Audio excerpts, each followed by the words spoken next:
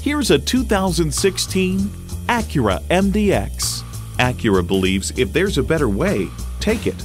That philosophy shines through in this vehicle and get ready for an impressive combination of features.